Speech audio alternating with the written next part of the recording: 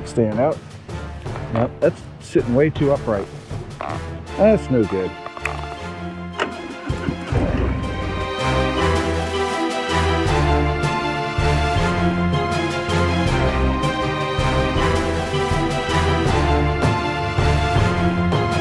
Okay. That's better. We are here. Don't fall over. Okay, cool. Go check this rock out after I swap some batteries. Well, we are walking up to High Rock. As much as I can walk anyway. I am not much of a hiker, that's for damn sure. But even with the clouds, this is just something else. Let's go up these steps.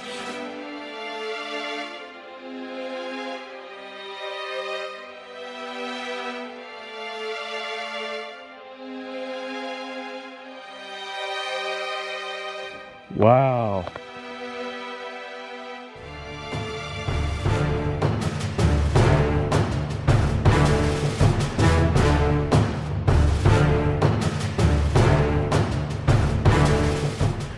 See how close I dare to get to the edge.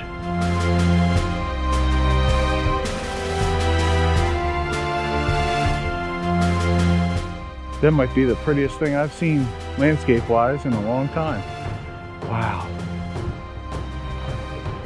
Okay. Well, I've gone as close to the edge as I'm gonna go. What do you think? Pretty cool? This is High Rock.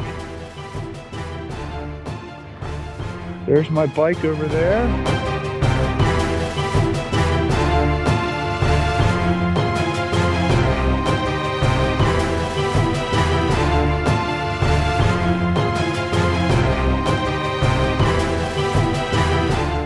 Look at the edge. That is a long, long way down. Sorry for the wind noise. Put my helmet back on to get two camera views at once. Wow.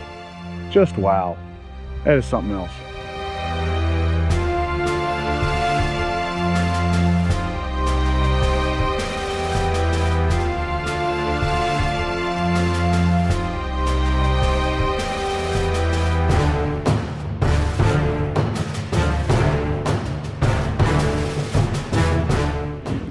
Hey, that might be the Maryland Motorcycle Riders group. Or it's another group, not really sure. This is too cool.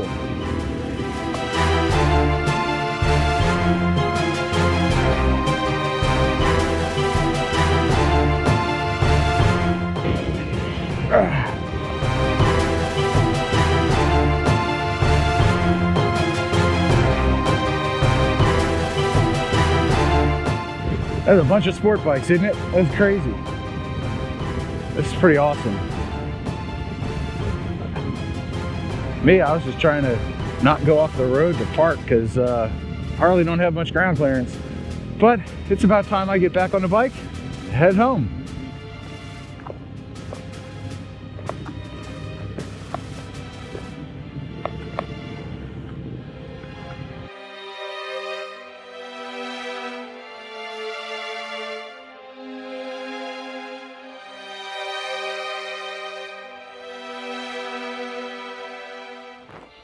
One more time at the top.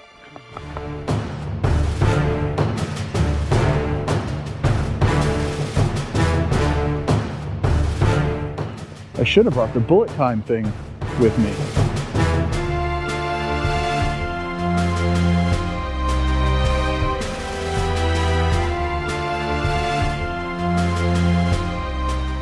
All right, let's go.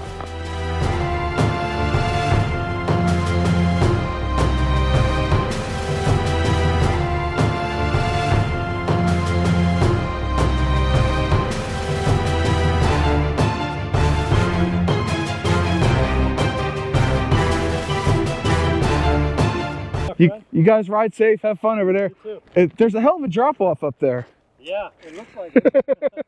I, I stuck the selfie stick out like four feet and was like, all right, I'm gonna get footage over the edge. That's as close as I'm getting. I don't need to take the extra risk.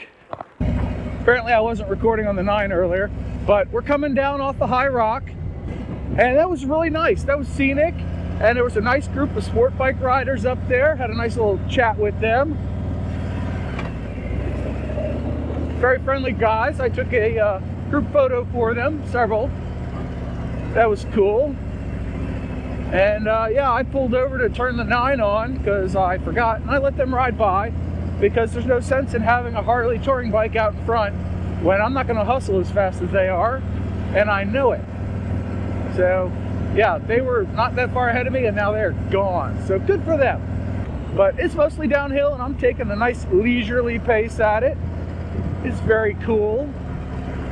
I put my winter gloves on because it's very cool. it's like 50 degrees up here and the sun's coming out, which means it'll be warm and my hands will get hot, but yeah, that's all right. And uh, I told my GPS to navigate me home. It knows where we're going. And uh, yeah, we're gonna tool home. Got a, about a third of a tank of gas. I don't know if I'm gonna make it home on that or not. There's a slight chance I make it home on that. Slight, very slight.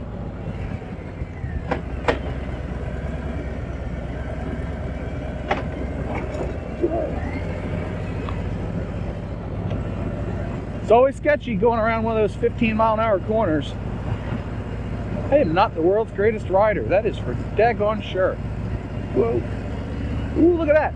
It's like a uh, aqueduct. No, reservoir. Yeah. Interesting. Very pretty up here. Oh, such a gorgeous place to be. You see, we're coming off the mountain. We're already in the sun. Mountain cloud and this place sun. And we're gonna hang a left I guess. Okay. Well that was unexpected. We're in Pennsylvania. So apparently we're going up and over to go back down. I'm all right with that. Are you all right with that? If you're all right with that hit that subscribe button. Stick around a while